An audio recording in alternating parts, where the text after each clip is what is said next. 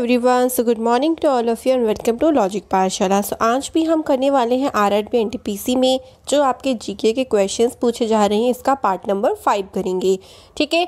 सो इससे पहले ऑलरेडी हम लोगों ने चार पार्ट देखो अपलोड कर लिए हैं। अगर आपने ये नहीं देखे हो तो मैं डिस्क्रिप्शन बॉक्स में सभी का लिंक प्रोवाइड कर दूँगी।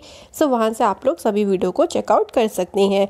एंड एग्ज़ाम होने से पहले देखिए, इन वीडियोज़ को ज़रूर देखिए बिकॉज़ बहुत ज़्यादा बेनिफिट मतलब बेनिफिशियल रहेंगे आपके एग्ज़ाम्स में, क्योंकि बहुत सारे क्वेश्चन जो है वो रिपीट हो रहे हैं एग्ज़ाम में और अगर हम शिफ्ट के अकॉर्डिंग देखें तो एंड आप लोगों को ये भी पता चलेगा कि किस टाइप के क्वेश्चन क्वेश्चंस आरआरबी में पूछे जा रहे हैं ताकि आपके एग्ज़ाम में जीके वाला सब्जेक्ट थोड़ा स्कोरिंग बन सके। तो इसी के साथ आज की वीडियो को भी शुरू करते हैं एंड जो भी मैं वीडियो में एक्स्ट्रा फैक्ट्स भी बताती हूँ, वो भी आप लोग सुने, चाहे तो उसे नोट कर लें, चाहे उसे ध्यान रखें। ठीक है? पीडीएफ मिल जाएगा आपको। मेरे टेलीग्राम ग्रुप को ज्वाइन कर ले जल्दी से। उसका लिंक भी डिस्क्रिप्शन में मिल जाएगा। सो सारी ही पीडीएफ वहाँ पे मैं आपको एज एट इज़ शेयर कर देती हूँ। ठीक है? चलिए फ़र्स्ट क्वेश्चन से शुरू करते हैं। सबसे पहला क्वेश्चन देखिए, क्या है? हड़प्पा की खुदाई के समय पुरातात्विक विभाग के महानिदेशक कौन थे?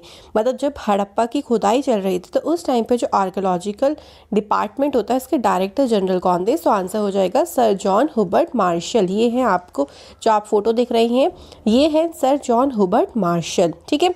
अगर हम बात करें, देखो, थोड़ी सी अगर हम बात कर लेते हैं कि वो टाइम कौन सा था तो 1902 से लेके 1928 तक जो है, वो ये इस डिपार्टमेंट के डायरेक्टर जनरल रहे थे। ठीक है? ध्यान रहेगा ना? थोड़ा सा आप लोगों को ये भी ध्यान रखना है। और जो देखो, हड़प्पा वाला जो सभ्यता है ना मतलब हड़प्पा की अगर हम उस साइड की बात करें तो थोड़ा सा पंजाब में पड़ता है उसका और थोड़ा सा वो पाकिस्तान की तरफ़ भी पड़ता है। जो पाकिस्तान की तरफ़ पंजाब है ना, वहाँ पे स्थित है रावी नदी के तट पर। ठीक है? ये भी आप लोग ध्यान रखेंगे। आगे देखो, क्या है? मोहन की खोज कब की गई थी?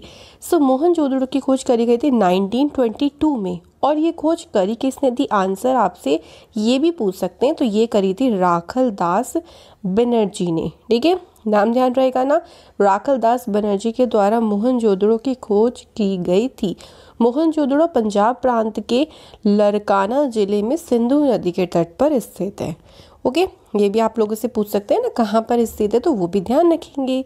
अगला क्वेश्चन देखो है राष्ट्रपति को भारतीय संविधान के किस अनुच्छेद के तहत क्षमादान की शक्ति प्राप्त है?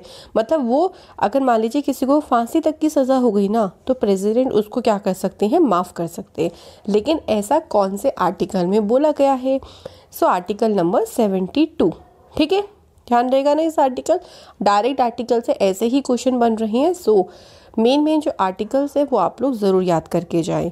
नेक्स्ट क्वेश्चन है, संयुक्त राष्ट्र के द्वारा स्वास्थ्य के संबंध में कौन सा संगठन कार्य करता है? तो यूनाइटेड नेशन का डब्ल्यू एच ओ, यानी वर्ल्ड हेल्थ ऑर्गेनाइजेशन, हिंदी में से बोलते हैं विश्व स्वास्थ्य संगठन। अगर हम इसकी फॉर्मेशन की बात करें तो ये कब फॉर्म हुआ था? ये फॉर्म हुआ था सेवेंथ ऑफ़ अप्रैल 1948 को। और सेकेंड चीज़ इसका हेडक्वार्टर पूछ सकते हैं इसका हेडक्वार्टर कहाँ पे है? जेनेवा स्विट्ज़रलैंड में इसका हेडक्वार्टर है। सो so, ये तीनों चीज़ों में से आप लोगों से कोई सा भी क्वेश्चन बन सकता है। अगला क्वेश्चन है देखो कौन सा ऐसा स्वीडिश टेनिस प्लेयर है जिसने पाँच बार लगातार grand slam US open tournament जीता है? देखो जो ग्रैंड स्लेम टूर्नामेंट होते हैं उसमें चार टूर्नामेंट आते हैं ठीक है? जिनमें से एक है यूएस ओपन तो कौन से स्वीडिश खिलाड़ी हैं? नाम है इनका रोज़र फेडरर। ठीक है? रोज़र फेडरर है। इन्होंने 2003 से लेकर 2007 तक लगातार पाँच बार इन्होंने यूएस ओपन का टाइटल जीता है। तो ये आप लोगों को ध्यान रखना है। ठीक है? ये स्वीडिश के प्लेयर हैं। स्वीडिश टेनिस प्लेयर हैं। ठीक है? अगला देखो, हमारे पास क्या क्वेश्चन है? प्रथम महिला लोकसभा स्पीकर कौन थी? अब देखो, चलो मैं इसी के साथ ना ग्रैंड स्लेम आया तो एक करंट के क्वेश्चन डिस्कस कर लेती हूँ, ठीक है? इस बार देखो, जो ग्रैंड स्लेम टूर्नामेंट हुए हैं ना, वो तीन हुए हैं। एक तो हुआ है फ्रेंच ओपन फ्रेंच ओपन में अगर हम बात करें तो मेंस टाइटल जीता है किसने? राफेल नदाल ने। ध्यान से सुनते रहिएगा रिवाइज करते रहिएगा। और इसी में ही अगर हम वुमेंस की बात करें तो ईगा स्वेटेक ने जो है वो वुमेंस में जीता है, ठीक है? इसके बाद अगर हम यूएस ओपन की बात कर लेते हैं तो यूएस ओपन में डोमिनिक थियम मेंस कैटेगरी में एंड वुमेन कैटेगरी में नाओमी ओसाका और अगर हम बात करें ऑस्ट्रेलिया ओपन की, ठीक है? ऑस्ट्रेलिया ओपन मेंस में जीता है नोवाक जोकोविच ने और वुमेंस में किसने जीता है? सोफिया कैनिन ने। तो तीनों मैंने आपको डिस्कस कर लिया तो तीनों आप ध्यान रखिएगा। So first Lok Sabha speaker women में कौन थी? मीरा कुमार। ठीक है? आप लोगों को ये पता होगा। सो इन्होंने जो अपना जो काम, कार्यकाल संभाला था 2009 में संभाला था और 2014 तक इन्होंने इस पद पर काम किया था। ठीक है? उसके बाद सुमित्रा महाजन रही थी, जो सेकंड वुमेन लोकसभा स्पीकर थी। वो 2014 में अपॉइंटेड टू 2019 तक उनका काम का, कार्यकाल रहा था। तो ये आप ध्यान रखेंगे। इस टाइम प्रेजेंट में लोकसभा स्पीकर कौन है? तो वो है ओम बिरला। तो ये आप लोगों को ना बार बार रिवाइज करने से सी चीज़ें याद हो जाएँगी। आप लोगों को रटने की ज़रूरत बिल्कुल नहीं पड़ेगी, ठीक है? सो बार बार रिवाइज करो। अगला क्वेश्चन है, भारत का सबसे लंबा जो राजमार्ग है वो कौन सा है? सो, नेशनल हाईवे 44 ये अगर हम बात करें तो कहाँ से कहाँ तक है? तो जम्मू कश्मीर के श्रीनगर से लेके ये तमिलनाडु के कन्याकुमारी तक है। और इसकी टोटल लंबाई कितनी है? Three seven four five kilometre so कुछ भी पूछ सकते हैं, कहाँ से कहाँ तक है टोटल डिस्टेंस और इसका नेम ठीक है? एन एच फोर्टी फोर को पहले एन एच सेवन भी बोला जाता था। सो ध्यान रखेंगे। अगला क्वेश्चन देखो क्या है? मोतियों का शहर किस शहर को कहा जाता है? सो so, हैदराबाद को कहा जाता है मोतियों का शहर। इसको एक और नाम से जानते हैं। इसको निज़ाम का शहर भी कहा जाता है। तो दोनों नाम इंपॉर्टेंट है सो ध्यान रखना ओके जो भी एक्स्ट्रा फैक्ट होते हैं साथ साथ में हम क्वेश्चन के कवर अप करते चलेंगे। अगला है प्रधानमंत्री उज्ज्वला योजना की शुरुआत कब की गई थी? एक मई 2016 को यूपी के बलिया ज़िले से इसकी शुरुआत की गई थी। ये भी आप लोगों से पूछा जा सकता है। इसमें क्या किया जाता है? जो गरीबी रेखा से नीचे जीवन यापन करने वाले परिवार हैं, उनकी महिला सदस्यों को यहाँ पर फ्री में या फिर आप कह लो रियायती दरों पर एलपीजी कनेक्शन दिया जाता है। ठीक है? सो, इसे कहते हैं प्रधानमंत्री उज्ज्वला योजना। ओके? कौन से? अगर हम मंत्रालय बोलें सो ये पेट्रोलियम एवं प्राकृतिक गैस मंत्रालय के अंडर में काम करती है ये योजना। सो ये एक्स्ट्रा फैक्ट ध्यान रखेंगे। नेक्स्ट क्वेश्चन इज़ प्रथम रोबोट जिसे मानव का दर्जा दिया गया है। बहुत न्यूज़ में देखा होगा आपने, इसका नाम क्या है? सोफिया।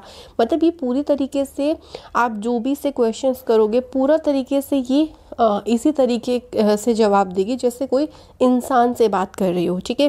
थोड़े बहुत एक्सप्रेशंस भी देती है, जैसे हंसना थोड़ा सा जैसे हम अपनी पल के झपकाते हैं तो इसलिए इसको मानव का दर्जा दिया गया है। और अगर हम बात करें सोफिया रोबोट को मानव का दर्जा कब दिया गया था? 2017 में सऊदी अरब के द्वारा। ठीक है ध्यान रखना है।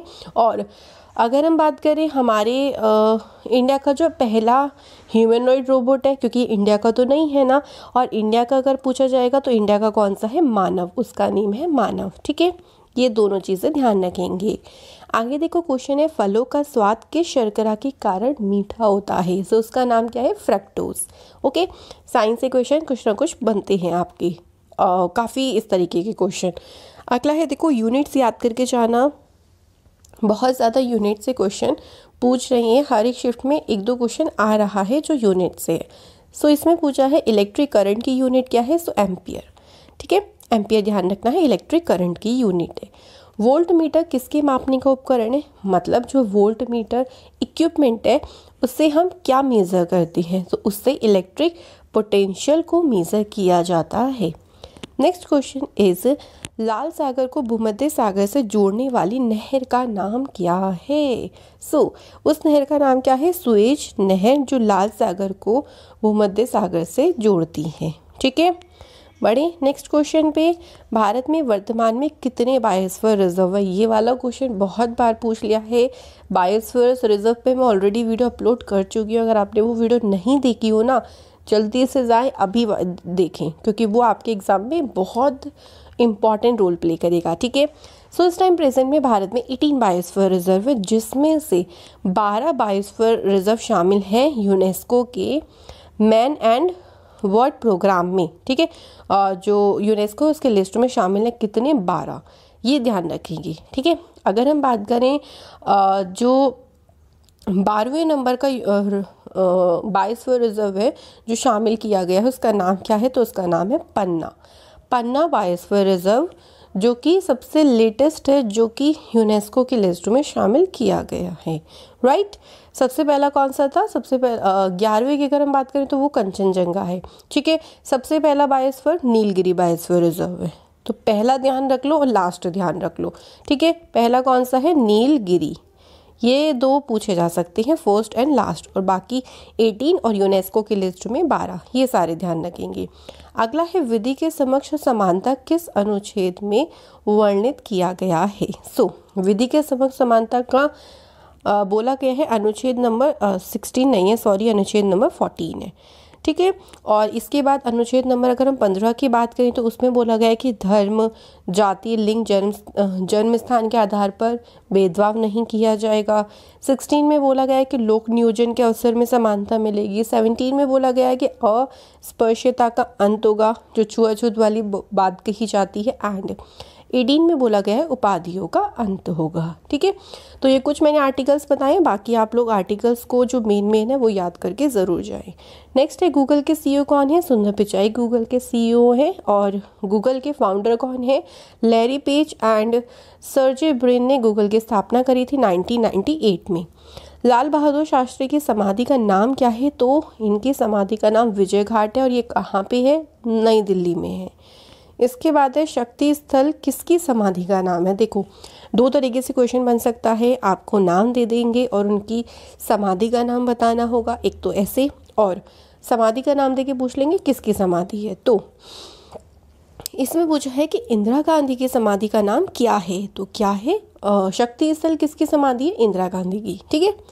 आमाशय में कौन सा अम्ल बनता है? मतलब हमारे जो स्टमक है उसमें एसिड बनता है। उसका नाम क्या है? हाइड्रोक्लोरिक अम्ल जिसको हम इस फॉर्म में लिखते हैं एचसीएल की फॉर्म में। ओके नेक्स्ट क्वेश्चन है चंपारण सत्याग्रह कब हुआ था? तो चंपारण सत्याग्रह हुआ था मई 1917 में। ओके okay, याद रहेगा ना कि चंपारण सत्याग्रह कब हुआ था? 1917 में चंपारण सत्याग्रह हुआ था। ओके? चलो अगला क्वेश्चन देखो क्या है? प्रधानमंत्री सुरक्षा बीमा योजना की शुरुआत किस शहर से की गई थी? सो so, इसकी शुरुआत जो की गई थी वो कोलकाता से की गई थी। ये आपको ध्यान रखना है किसकी? प्रधानमंत्री सुरक्षा बीमा योजना। अगर हम बात करें है क्या तो एक तरीके की दुर्घटना योजना जैसे आपकी मान लो मृत्यु हो गई या फिर किसी की किसी एक्सीडेंट में आप अपंग हो गए तो आपको दो लाख रुपए या फिर अगर आपकी जो अपंगता है, उसके आधार पर आपको राशि दी जाएगी। इसकी जो आयु सीमा रखी गई है, सो एटीन से लेके सेवेंटी ईयर्स तक इसमें एज जो है वो रखी गई है। सो इस साल इस योजना का जो आपको प्रीमियम भरना होता है, वो मात्र बारह रुपये पर ईयर भरना होता है सिर्फ़। ओके सो ध्यान रखेंगे, इसकी शुरुआत कोलकाता में हुई थी। कोलकाता से इसकी शुरुआत की गई थी। अगला है राज्यसभा और लोकसभा को बैठक बुलाने और स्थगित करने का अधिकार किसको है? जैसे कोई बैठक होती है तो कौन बुलाता है उस बैठक को? सो so, प्रेसिडेंट बुलाती हैं और उस बैठक को भंग करने का काम भी यानी उसको स्थगित करने का काम भी किसके पास होता है? राष्ट्रपति जी के पास ही होता है। अगला है आगरा के लाल किले का निर्माण किसने करवाया था? तो अकबर के द्वारा 1565 में इसका काम शुरू हुआ था और कंप्लीट हुआ था 1573 में, ठीक है? तो ये आपको ध्यान रखना है। अकबर के द्वारा इसका निर्माण किराया गया था। अगला है, सर्वाधिक रेलवे लाइन जो है वो किस राज्य में है? तो उत्तर प्रदेश में सबसे ज़्यादा रेलवे लाइंस के रूट डले हुए हैं। अगला है, द्वितीय परमाणु परीक्षण कहाँ पे हुआ था? ये हुआ था पोखरण, और पोखरण कहाँ पे है? राजस्थान में है। इसका जो परीक्षण किया गया था ना, वो 1998 में किया गया था। और जो पहला परमाणु परीक्षण हुआ था, उसको किया गया था 1974 में, और ये भी पोखरण में ही किया गया था। दोनों आप लोगों को ध्यान रखना है। अगला है, निकट दृष्टि दोष को क्या कहा जाता है? सो मतलब इसका सेकंड नाम है मायोपिया। इंग्लिश में तो इसको मायोपिया ही बोलते हैं। बट आपको हिंदी में ऐसे ही लिखा जाएगा निकट दृष्टि दोष, ठीक है? तो इसको बोला जाता है मायोपिया। इसमें कौन से लेंस का यूज़ किया जाता है, ये भी पूछ सकते हैं। तो इसमें अवतल लेंस का यूज़ किया जाता है, ओके? ध्यान रखेंगे। अगला है, पीछे की ओर से उड़ने वाला एकमात्र पक्षी कौन सा है, जो पीछे की तरफ़ से उड़ता है? तो हमिंग बर्ड और एक और चीज़ ध्यान रखें हमिंग बर्ड की, कि ये सबसे स्मॉलेस्ट बर्ड भी कहलाई जाती है। सबसे छोटी बर्ड है हमिंग बर्ड और सबसे बड़ी बर्ड कौन सी है? शतुरमुर्ग, ठीक है? अगला है, करो या मरो का नारा किसने दिया था? सो, महात्मा गांधी जी के द्वारा ये नारा दिया गया था 1942 में, जब भारत छोड़ो आंदोलन चल रहा था। उस दौरान ये नारा गांधी जी के द्वारा दिया गया था। हॉर्नबिल फेस्टिवल कौन सी स्टेट में काफ़ी ज़्यादा फ़ेमस है? सो, ये नागालैंड में बनाया जाता है और नागालैंड की कैपिटल क्या है? कोहिमा। अगला है अल बरूनी भारत किसके साथ आया था? या ऐसे पूछ सकते हैं कि किसके समय में अल बरूनी भारत आया था? सो, महमूद गजनवी के समय में ये भारत आया था, ग्यारहवीं सदी में। ओके? जो भी एक्स्ट्रा फैक्ट्स होते हैं, वो हम ध्यान रखेंगे। अल बरूनी का अगर हम बात करें जन्म स्थल कौन सा है? तो उज्बेकिस्तान में इसका जन्म स्थल है और महमूद गजनवी की सेना के साथ ये भारत जो है, आया था। अगला है, भारतीय संसद की पहली बैठक कब हुई थी? सो ये हुई थी तेरह मई 1958 को। और अगर हम भारत के आम चुनाव की बात करें तो सबसे पहले आम चुनाव भारत में कब हुए थे? 17 ऑफ़ अप्रैल 1952 को। ठीक है, जब प्रथम लोकसभा का गठन किया गया था। उस दौरान भारत में सबसे पहले आम चुनाव किए गए थे। अगला क्वेश्चन है, राष्ट्रीय लोकसभा में कितने सदस्यों को मनोनीत कर सकते हैं? यहाँ पे राष्ट्रीय नहीं है सॉरी यहाँ पे है प्रेसिडेंट यानी हमारे राष्ट्रपति लोकसभा में कितने सदस्यों को मनोनीत कर सकते हैं? ओनली दो सदस्यों को। और ये दो सदस्य होते कौन है? एंग्लो इंडियंस ये कहे जाते हैं। ठीक है? जब राष्ट्रपति के चुनाव में वोटिंग्स की बात होती है तो ये दो जो पर्सन है ये वोटिंग में भाग नहीं लेते बिकॉज़ इनको तो राष्ट्रपति अपॉइंट करते हैं है ना? तो इसलिए भाग नहीं लेते हैं ये ध्यान रखेंगे। अगला देखो यहाँ पे क्या पूछा है? नीति आयोग की स्थापना कब की गई थी? सो so, एक जनवरी 2015 को नीति आयोग की स्थापना की गई थी। ध्यान रखेंगे एक बात इंपॉर्टेंट है पहले इसको ना योजना आयोग के नाम से जाना जाता था। इसकी स्थापना योजना आयोग की कब हुई थी? 2014 में। फिर योजना आयोग को खत्म किया गया और इसके सॉरी योजना आयोग की स्थापना 1950 में की गई थी, ठीक है? 1950 में। और इसको खत्म करके 1 जनवरी 2015 को नीति आयोग की घोषणा करी गई। और अगर हम बात करें वर्तमान में नीति आयोग के चेयरपर्सन कौन है? नरेंद्र मोदी जी, क्योंकि इसके चेयरपर्सन होती हैं इंडिया के प्राइम मिनिस्टर। वाइस चेयरपर्सन कौन है? राजीव कुमार। और इसके सीईओ कौन है? अमिताभ कांत, इसके सीईओ हैं, ठीक है? ये तीनों चीज़ें आप लोगों को ध्यान रखनी है। अगला है, देखो, यूरोपियन यूनियन में समलैंगिक विवाह को कानूनी मान्यता देने वाला पहला देश कौन सा बना? नीदरलैंड्स। और ये मान्यता कब दी गई थी? 2001 में दी गई थी।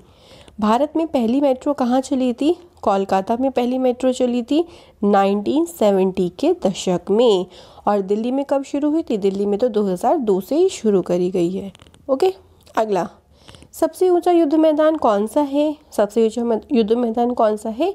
शियाचिन ग्लेशियर है। और अगर हम बात करें शियाचिन ग्लेशियर कहाँ पे पड़ता है? सो, जो काराकोरम रेंज है ना भारत और पाकिस्तान के बीच में जो नियंत्रण रेखा है है ना?